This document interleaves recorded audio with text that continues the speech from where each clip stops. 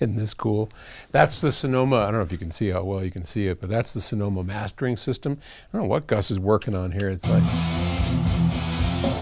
Anyway, whatever that is, um, pretty cool stuff. This is the, the home of Octave Records. Gus is out and away recording one of my favorite artists, Don Grusin brother of Dave Grusin, and uh, two of the finest piano players out there. Ooh, can't wait to hear what he he comes back with. Anyway, so the question for today is how do you select the best subwoofer for audio? And it comes to us from Thank, okay, in Vancouver, British Columbia. He writes, Hey Paul, I'm in the market for a good subwoofer to go with my Focal floor standing speakers. I searched many well regarded names, but almost all of them are marked as best bass for movies. Now, I want something that gives the best performance for music. If I get a subwoofer made for movies, will it give me the bass good enough for music as well? You know, that's an excellent question, sir. It's great because it's true. Almost every subwoofer out there is going to tout its wonderfulness for movies. And why is that? Because that's the market. That's what subwoofers are built for is home theaters. That's that's where I don't know. I, am going to pull out you know a number out of my Tookus. 80%, let's call it 80% of subwoofers, maybe 90% of subwoofers are sold to home theater users because you know we want to have that bottom end. And as much as i you know am an evangelist as you know for subwoofers um, and we're just installing a new subwoofer up here uh, a REL one, my, one of my favorite brands is REL. And there are a number of great brands out there. It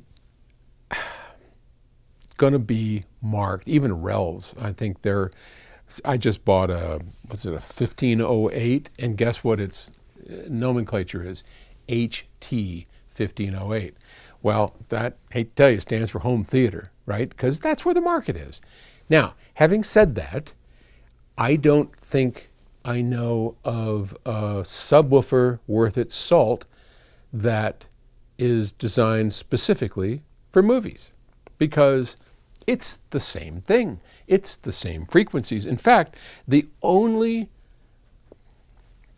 difference between something that is specific for theaters might be what they call an LFE channel, a low frequency extension channel, which usually is mono, comes out of your surround sound processor, and a number of subs probably have an LFE input, which is just a way to sum, uh, and your, your device does it anyway, um, but otherwise, you're going to have a left and a right, and, and if it's any good, you'll have a high level input. They are identical. So I use RELs in my home theater, and I use RELs uh, on, a, uh, on a few systems. When, when I used to, of course, now I have the Infinity IRS 5s with their own built in subwoofers. But uh, previous to that, it was either Martin Logan's or RELs were part of my system, and both of those were pushed and promoted as home theater devices, but in reality, they work just as well for music. So, bottom line, ignore the home theater designator and just realize that's where the market is, that's why it's labeled that, and you will do great to install a home theater marked home theater, uh, to install a subwoofer marked home theater in a music situation. So if you get a chance, drop me a video or a note and let me know how all that worked. It would be much appreciated. Okay, we'll uh, go back to. All right, talk to you tomorrow. Bye.